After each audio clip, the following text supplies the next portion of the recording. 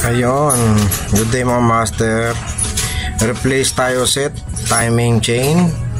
Roller. Timing chain. Yan. Papalitan natin. Sobrang kalansingan nito. So, si sir sabi niya nawawala, nagkakaroon. So, sabi ko painitin muna yung makina para mas malaman natin. Ayun. Nung uminit na sobrang yung makina, doon na. Parang tunog buhangin. So, ayan, yung compression roller ang, ang may problema. Tsaka yung timing change, talagang malaki na yung, ano, yung uwang niya, yung pagkakabalik ko. Pag bend niya, pag binibend mo siya, malaki na yung clearance.